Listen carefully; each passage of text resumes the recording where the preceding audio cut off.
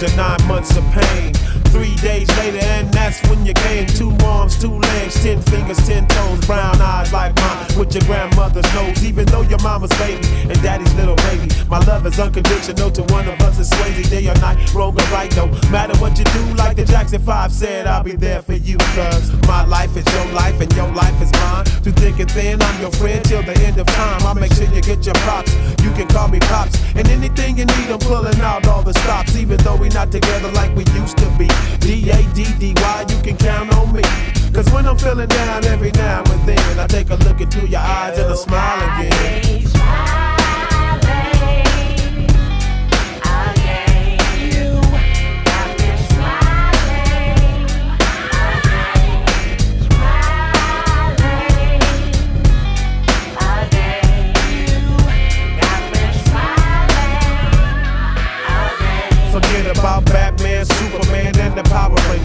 I'ma be your hero if you're ever in some danger. This ain't the Hudson Road and my name ain't Cliff. No matter how old you get, you can get that ass whipped. Daddy don't take no mess. And I ain't gon' settle for nothing less than your very best. When I do what I do, cause you did what you did. It's cause I ain't the kind of father that be raising no dumbass kid. You got to be a leader, it's my responsibility to teach you. Right from wrong and make decisions of your own. I never said that I was perfect, but I know you're worth it. So I'ma do my damnedest to make sure you get some chances. So just listen to your daddy, cause he tryna tell you something. And don't let nobody tell you I don't love you, cause they funny. Cause when I'm feeling down every now and then, I take a look into your eyes and I smile again.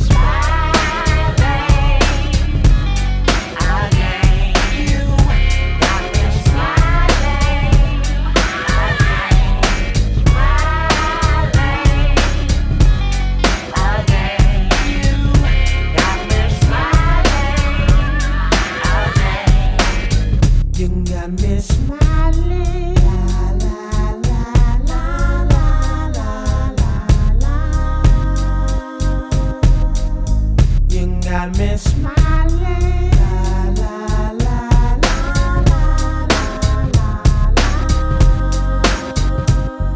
Every day is a struggle when life is like a puzzle that we gotta put together. Together so whenever you need a shoulder to cry on or someone you can rely on.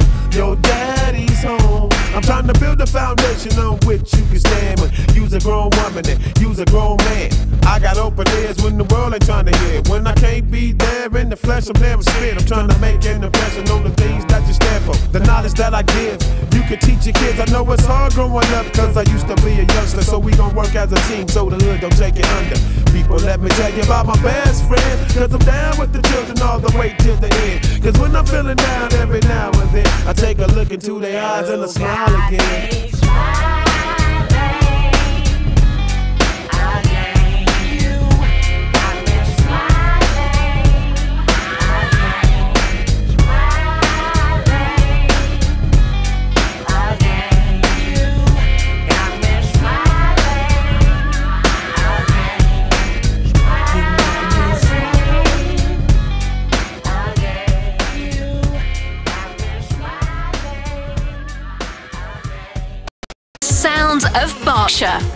Radio Berkshire.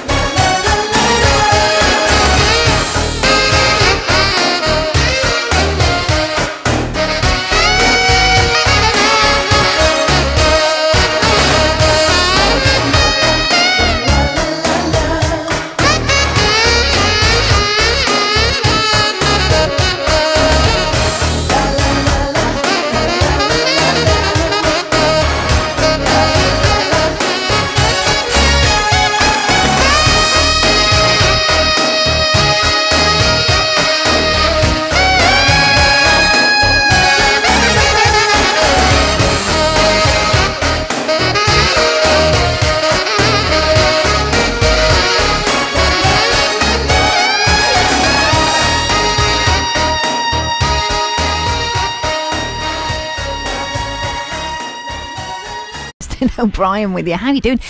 Really weird sense that it's Friday tomorrow. I mean, Friday today. God, that's that's starting things off confused, isn't it? I just felt like today was Friday and tomorrow is the weekend and can have a lie in and oh, I'll get the washing done and don't know why that is. Um, totally confused myself. But hey ho, hope you're doing good. I'm going to start the show with someone that may well have a legitimate claim to title of hardest working woman in the music industry. Singer songwriter Sarah McQuaid played a staggering 118 concerts in 2023.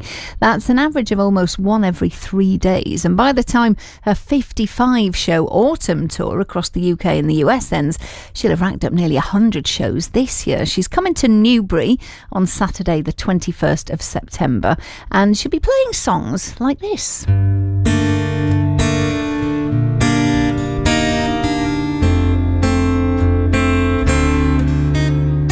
My son can't sleep, he's ten years old. He's scared that Yellowstone will blow. And when it does, it could set off a mighty chain reaction. It's beautiful, isn't it? It's Sarah McQuaid, Yellowstone. As I say, she's coming to Newbury to the Ace Space Saturday, the 21st of September. And she joins me now. That sounded gorgeous. Hello. Hello, Kirsten. Thank you so much for the kind words. Good morning. Nice to have you on. So, is that the type of music you you normally perform? How would you describe your style? I would describe my style as pretty eclectic. I mean, I do stuff like that that's quite kind of kind of jazzy, if you like, or sort of, sort of folk jazz. I don't know what you call it, you know. And I and I also play some slightly more rocky things on electric guitar and keyboard, and I, I play a bit of drum as well, and uh, try and just keep the set really mixed up and play a few surprise covers too. I'm doing a Radiohead cover on my current tour, so that's been great fun. Oh my word! And uh, I mean, uh, you've been going for a fair old while. Your first album out 1997. When you go on tour, what do you decide what you're going to put in the set? Again, I try and really mix it up. For example, I'm doing a, a, a track, um, actually two tracks from my very first album that came out back in 1997, you know, and then I'm doing a couple of brand new songs that I've only just written. Just for, in fact, I, I've been, I've been one of those new songs I've been tinkering with the words pretty much every concert in the set in the tour so far. I think I've finally got it to its final form at this point. I'm pretty happy with how it's going. But that always happens when you get out and perform material live for the first time. So, so what you're actually uh, almost in the way that a stand-up sometimes when they, they first go out, they're doing new material nights. You, you're sort of playing around with how one of the songs should be. Yeah, that's a really good comparison. I've never thought of that comparison before. And that is exactly it. That's exactly it. Because somehow, until you're actually in a room with a live audience, having live human beings reacting, and you can see, you know, their faces. Sometimes you can see their faces, sometimes it's too dark. But even then, you can kind of get a feel for the atmosphere in the room. And you just go, mm, you know, that section of the song is dragging a little bit. Let me see what I can do to tighten it up, make it a little faster and peppier. Or sometimes you think, God, that went by too quickly. I, I- think I need to slow it down a little bit, take it easy, give it more time. So more space, more breathing room. And you never know until you actually get out there to pl- perform it live. That's weird. We never sort of get to know the mechanics like that. You know, we just turn up a gig and go, "Oh, this is a lovely night we're having with a pint, isn't it?" How did you get into this in the first place? Uh, well, you know, it's funny. It's taken me a long, long time. Um, I I started out singing in a children's choir back in Chicago, where I grew up. In case you're wondering from my accent, Yeah, I was I was born in. Spain. yeah, born in Spain, raised in Chicago, lived in Ireland for 13 years, and moved to Cornwall 17 years ago. So there you have it.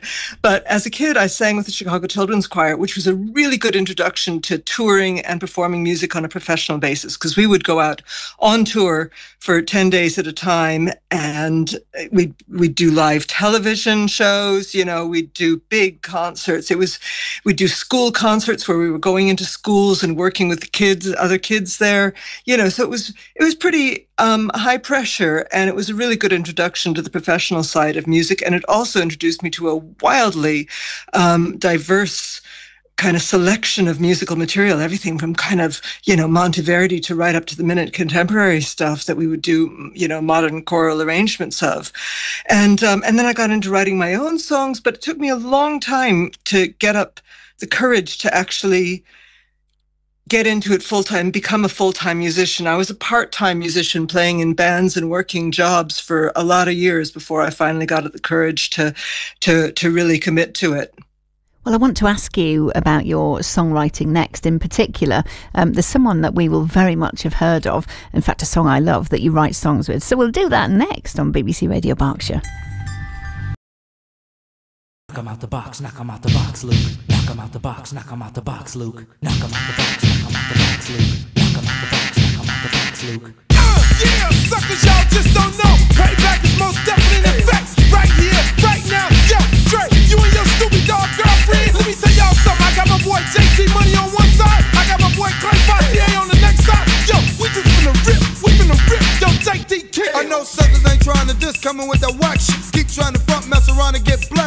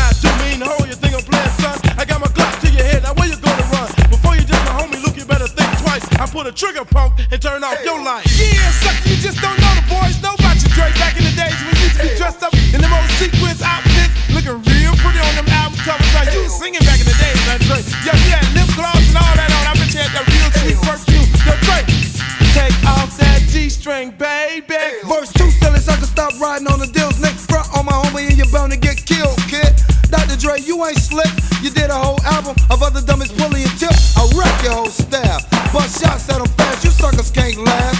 So don't try to flip the script, money grip. I got a tech on my hip. Plus, I'm in the mood to trip, and I'll take it for four.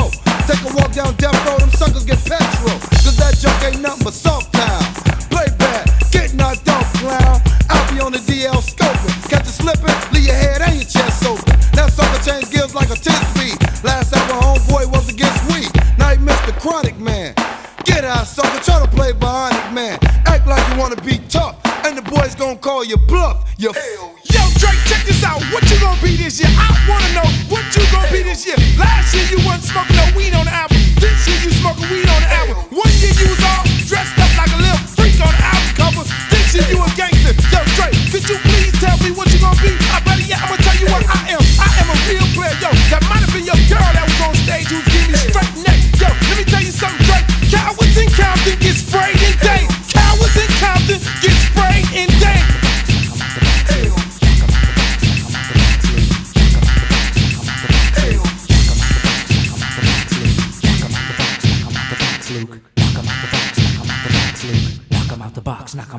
box, Luke. Knock 'em out the box, knock 'em out the box, Luke.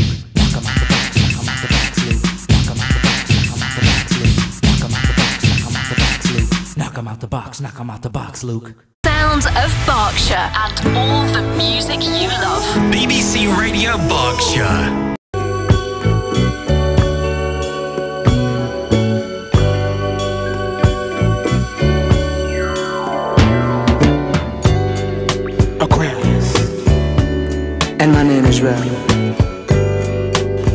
Now I like a woman who loves her freedom. And I like a woman who can hold her own. And if you fit that description, baby,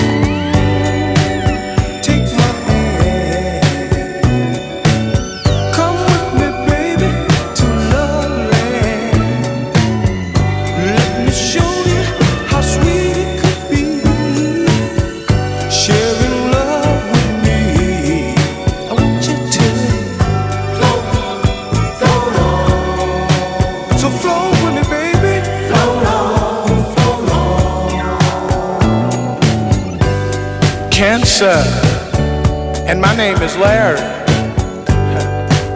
And I like a woman that loves everything and everybody. And you know what, ladies? If you feel that this is you, then this is what I want you to do.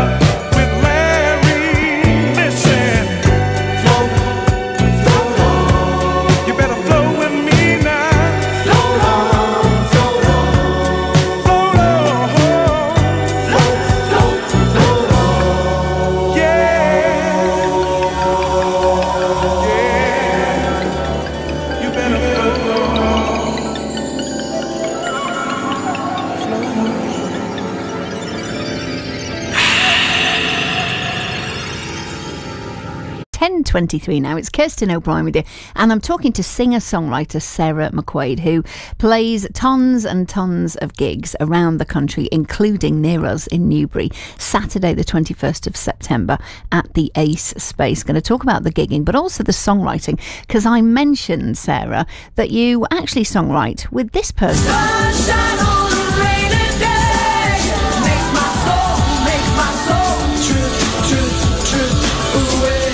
Absolutely love that song, Zoe, of course. How did this come to be? How did this come about?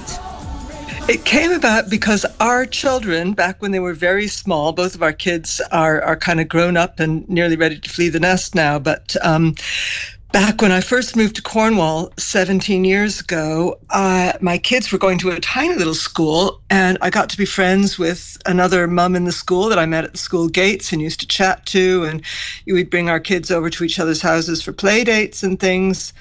And uh, it was only after I'd got to know her and become friends with her that I discovered that she was a massive former pop star. I just never associated her with the song. It was She's Zoe, one of the of school mums.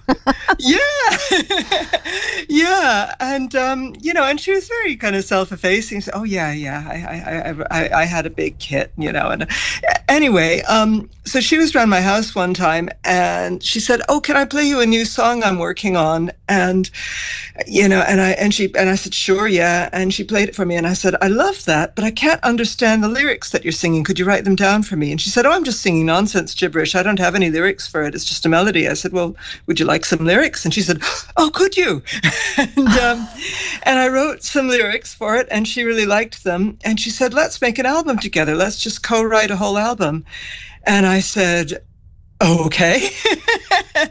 and you know, prior to that, I'd written the odd song. You know, I'd made I'd made my first two albums at that point and had kind of one or two of my own songs on each of that those albums, but I didn't really think of myself as a songwriter. And so I have Zoe to thank for that. That she was it was through working with her and through somebody of her caliber. I mean, she's just an amazing, amazing musical animal. That the the, the stuff she can come up with, and um, having somebody of that caliber wanting to work with me and co-write with me was what really gave me the confidence to start focusing on my own songwriting and uh, and thinking of myself as a real singer-songwriter instead of just a musician, a performer who happened to play an occasional original song. So that was really transformative for me, and we made an album. And the other transforming aspect of it was that the album that we made together was produced and engineered by a fellow called Martin Stansbury, who'd been working with Zoe for a long time on various different projects. And um, after we made the album together, Martin became my manager and my touring sound engineer. And we've been working together for over 15 years now. And uh, that has also really helped to kind of enable me to do what I'm doing now. My word, you, you would need to get on with someone when you go on tour because I've said you like to get about on tour. you? what is it you love so much about, you know, that one place and then a few days later onwards, onwards, onwards, onwards, that sort of nomadic almost lifestyle, the way the way you've approached it? Yeah, I really love it. And I love, I mean, I mentioned about sort of tinkering with the material every night. And I love how when you're on tour, every show is a rehearsal for the show that you're going to do the next day. And you're you're kind of not just not just in terms of songwriting, but in terms of your banter between songs. You go, oh well, that joke didn't work. You know, that flopped. I'm going to try a different joke tomorrow night. Ooh, that worked really well. God, that was off, just off the top of my head, but I'm going to say it again next time. You know, so again, you you you made that wonderful um, comparison with stand-up comics, and it's really an apt comparison. I think, especially because I'm a solo performer, so it's not like I have other musicians on stage with me. I mean, I always say Martin is kind of a member of the band who works from behind the sound desk, but it is just me and the audience, and so the interaction with the audience is a huge part of it. And I couldn't get that if I just stayed at home and worked in isolation in a studio. So I'm so grateful to be able to do it. And is that daunting sometimes, knowing that it, you alone have to make that work, have to make that crowd have a good evening? Not not mission to panic you in any way, Sarah, but you know, you know, night after night. Yeah, it is daunting. It is daunting. And in the past, you know, and and touch wood, I think I've I've learned to get a handle on it. But I used to suffer really, really badly from stage fright to the point that, you know, my my jaw would be so locked that I could barely get it open to sing.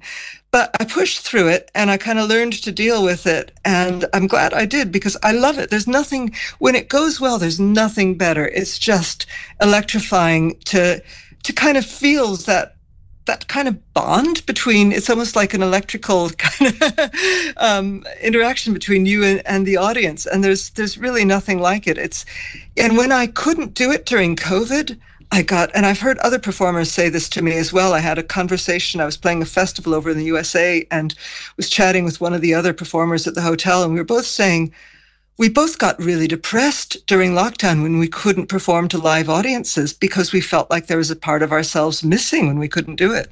I can understand, yeah, how that would be. Have you got a rider? Anything on your rider? You know, your request when you're going around the places, Sarah?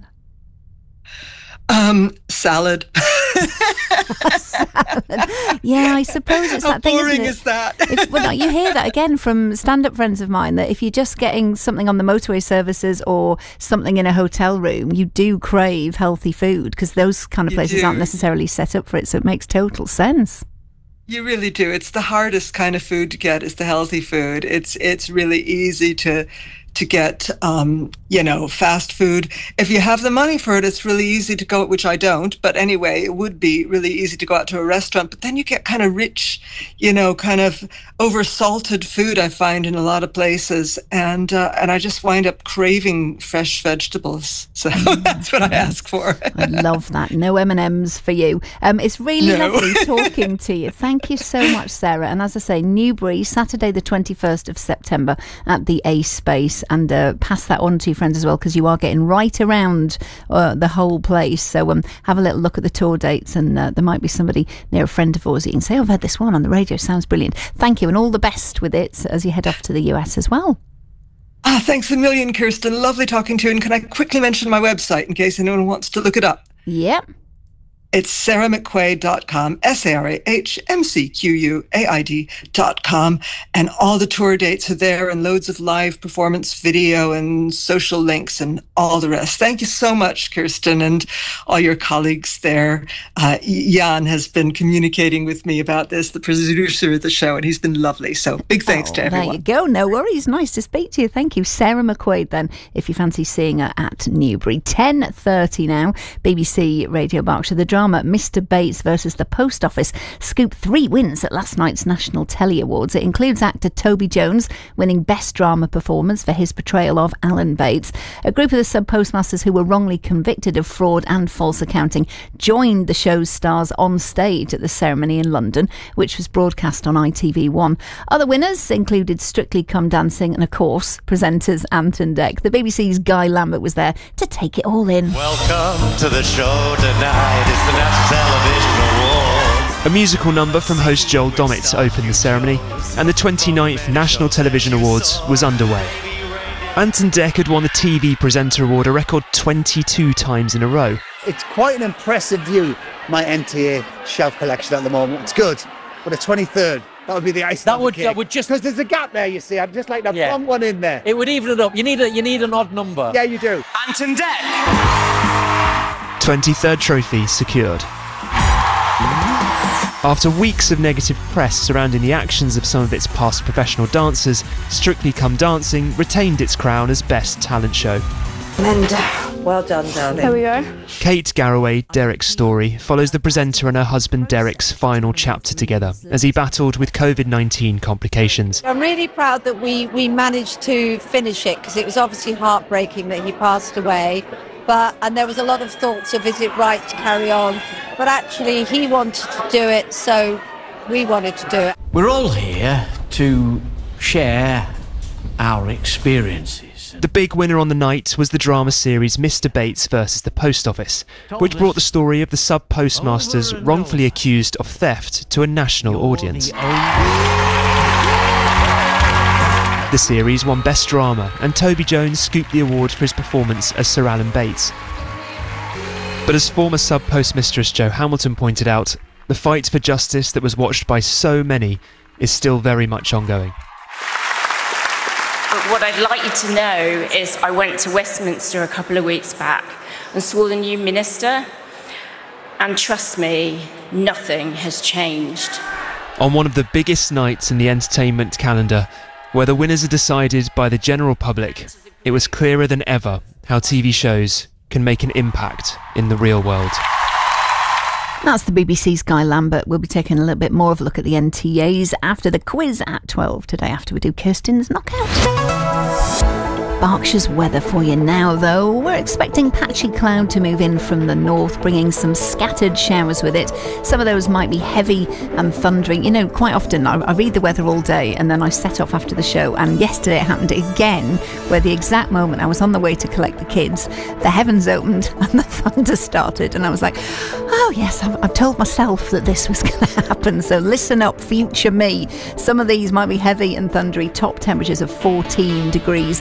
This evening we'll see dry conditions with the skies clearing for all, a chilly night, overnight lows of 2 degrees. Tomorrow morning we'll see dry conditions and plenty of sunshine. Some variable cloud will move in from the west in the afternoon, but it should stay dry and sunny with highs of 16 degrees tomorrow. Saturday, dry again, a mix of sun and variable cloud. It'll become breezy and milder in the afternoon. Sunday, some bright spells to start with, but clouds will soon increase from the west with a few spells of rain moving in. For a full 14 day forecast, you can go to bbc.co.uk slash Radio Berkshire. BBC Radio Berkshire.